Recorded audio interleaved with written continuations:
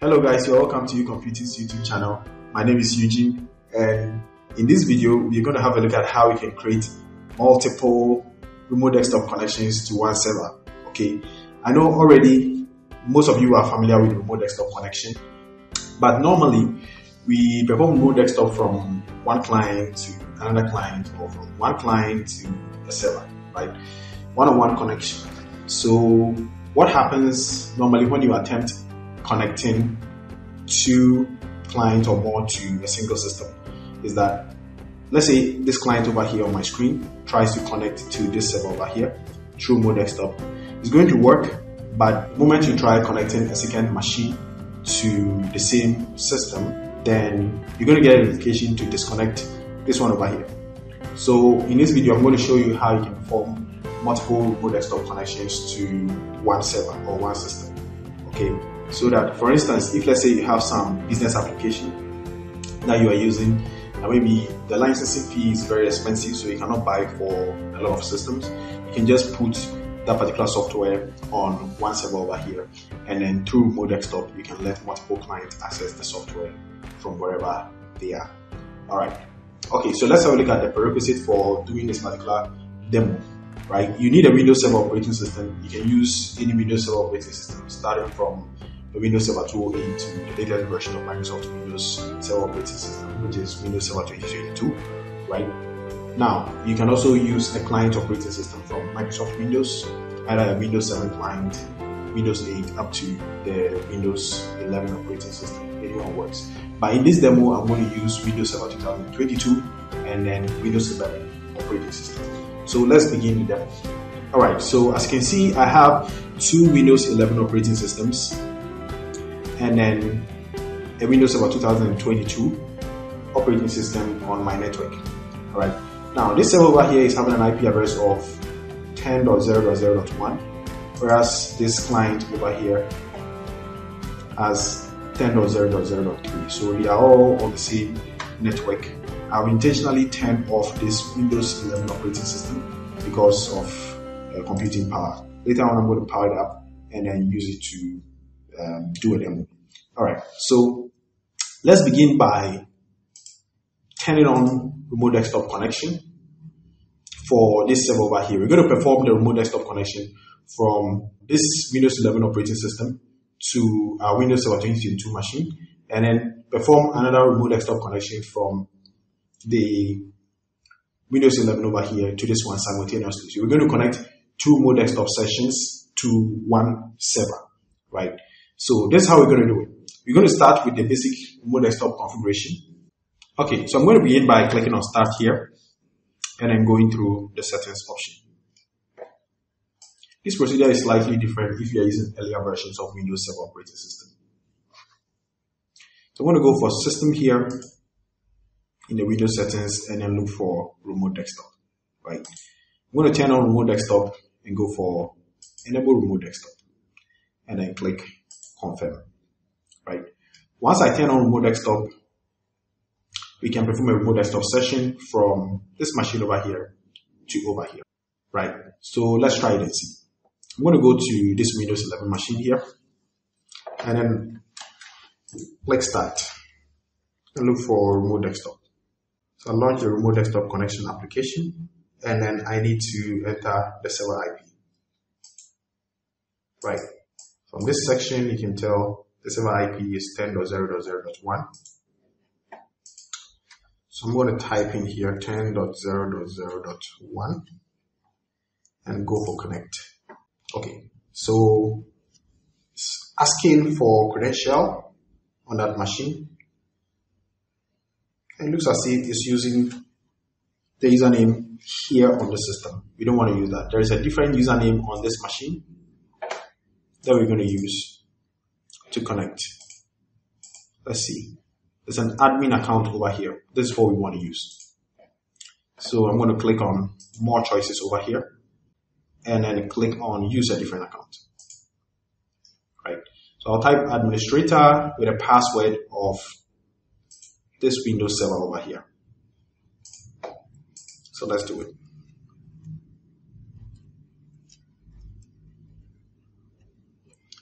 Click on password.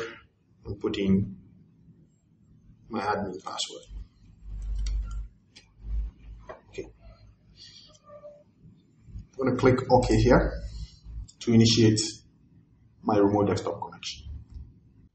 Okay, over here, so I'm going to click on more options here, use a different account and retype the. Okay, so I'll type the password here and go for the OK button.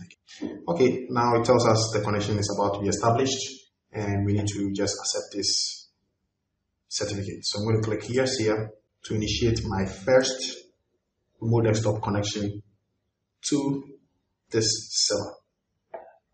Right. Let me hide this. As you can see, we are on the Windows Server 2022 machine. This is a normal remote desktop connection that we usually do, right? But the problem here is that if you attempt initiating a second remote desktop connection to this server, it's going to log it out. It's going to log out this one. Okay, so we have the first remote desktop connections done from this very machine over here, which is 10.0.0.3 to 10.0.0.1, right? When we attempt performing another remote desktop connection to 10.0.0.1, which is this cell over here from this end, it's going to log this guy out, right? That is what we want to fix. Okay, so I'm going to attempt performing a second remote desktop connection to that same system by launching my remote desktop application here. Type remote. I'm going to click on this to open the remote desktop connection app and then type the same IP address over here 10.0.0.1 and then when I try connecting gives me a credential prompt again I'm going to type administrator the same credential and then look what happens when we get in here so I'm going to accept this certificate here by clicking yes let's see what happens okay so the connection works but let's have a look at this one look what happens here on the previous connection. It says you have been disconnected because another connection was made to the remote computer. So why is this happening? Why can't we perform multiple connections to one server? So here's a fix. Now, we're going to go back to the server and do a couple of configurations over there. There are some group policy settings that we need to adjust. And then Additionally, we need to create uh, user accounts for individual sessions. So I'm going to log in here on my server, password. I'm going to go to computer management from administrative tools, launch administrative tools on my server, and then go to computer management. What I need to do here under computer management is to create unique user accounts for the individual remote desktop connections. So I'm going to right click here and create a new user account. I'm going to call it, uh, let's say, remote user one, and then I'll leave the description alone. Let me just set a password for it and go create, right? So I need two user accounts. So I'm going to create another user account. So I'm going to call the second one remote user two. I'm going to create the second user account and click close, right? Now, this user account over here, we need to add them to the remote desktop users group, right? So this is what I'm going to do. Currently, when I go to the properties of this user account, you see that it's a member of just the users group.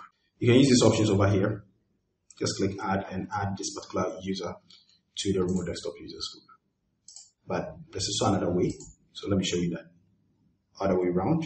When you get into the settings of your Windows operating system, and you get to the remote desktop option over here. When you scroll down, you see that we have select users that can remotely access this PC, right? So we're going to add these two new users. We have remote, we click check names. Oh no, not this one. I'm going to click advanced here and click find now. There are two users that we want to add.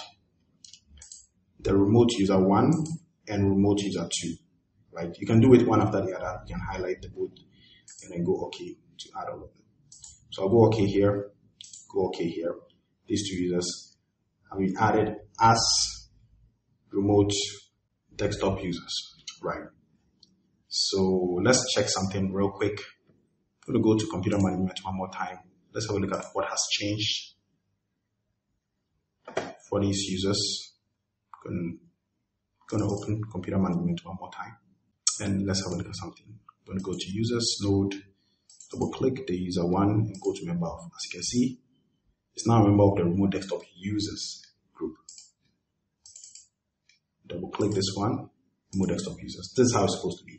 And you can use this option over here to add them manually if you want, right? But I prefer the other way around. So this is the first step. You need to create two user accounts for the various sessions and then add them to the remote desktop users group. Once you're done with that, the rest is group policy. So I'm going to press on my window key plus R here to launch the group policy object editor by typing gpedit.msc. Right. Launch gpedit.msc by clicking OK here. Once the local group policy object editor is launched, you need to go to computer configuration. the computer configuration, you find administrative templates. You expand administrative templates and look for Windows component. And then you scroll to the arrow column to look for remote desktop services, right? Now, once you expand the remote desktop services node, you see we have an option here for remote desktop session hosts. And under it, we have connections, right? Once you click on this node, I'm going to sort this alphabetically by clicking here. You'll see that we have this option over here, which says restrict remote desktop services users to a single remote desktop service session. This is what is causing the problem. So I'm going to double click this one over here and then disable it. So I'm going to disable this first, go OK. And then I'm going to open up, I'm going to open this very option over here. Limit the number of connections by double clicking. And then you can get a chance to enable and then set the number of remote desktop connections you want to allow to this server. Right? So if you want 10 connections to be done at a time to this server, you do that. Okay. I'm going to set my maximum to five and go apply. Okay. All right. Now, once this is done, you can perform a restart for the group policy settings to apply, or you can use this command to force apply this particular group policy setting right now. You can do that by running gp update space forward slash force. This command over here is going to force the group policy settings that we just changed to apply immediately. So I'll click OK here and allow this one to complete. Right, it shows that everything is done successfully. The update was done successfully. Okay, so I'm going to go back to my client and we're going to initiate two sessions to this server at the same time and see what happens. Okay, so I'm going to launch my remote desktop connection tool by clicking on start here and type in remote. Okay, so I'm going to launch my remote desktop connection tool here by clicking on remote desktop connection. And I'm going to reinitiate the remote desktop connection to 10.0.0.1, which is my server. Okay, so it's asking for credential, but you remember we created two separate user accounts for these connections. So I'm not going to use the administrator anymore. I'm going to click on more choices here and then go for use a different account. You remember the user account, we had the first user account to be remote user one, and then type my password. Gonna click OK here. Gives me a certificate to accept. Gonna click yes here. Okay, so the first connection to uh, 10.0.0.1 Windows Server 2022. Machine has been established. Okay, so the first connection is true. Everything looks good here.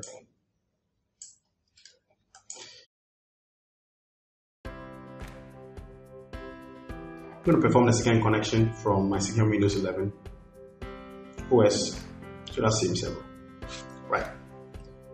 I'll click start and then type remote to launch my remote desktop connection tool. And then I'm going to, I'm going to initiate a second connection. You can change the username here by expanding this node. I'm going to change it here to remote user 2. So another way.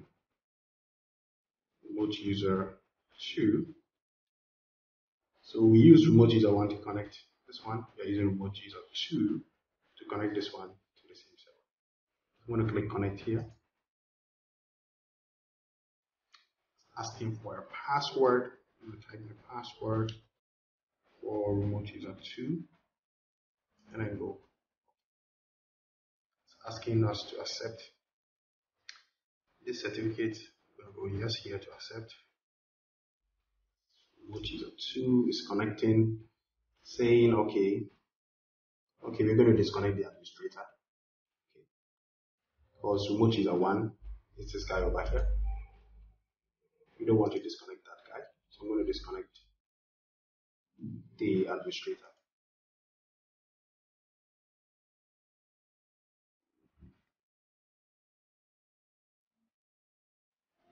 Okay, so it looks like everything is working fine here.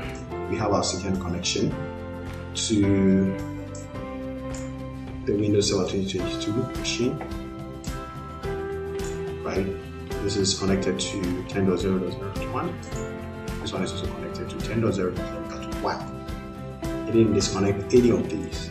So you can do this with as many computers as you want. It all depends on your computing power. This thing is very, very demanding when it comes to RAM and CPU. So if you want to do the same thing, or even if you want to do it with more computers, you just need to make sure that the server that is going to be uh, having the multiple desktop connections has enough RAM and CPU power right? Thank you very much for joining me today. If you enjoyed the video, kindly subscribe and I'll see you in the next video.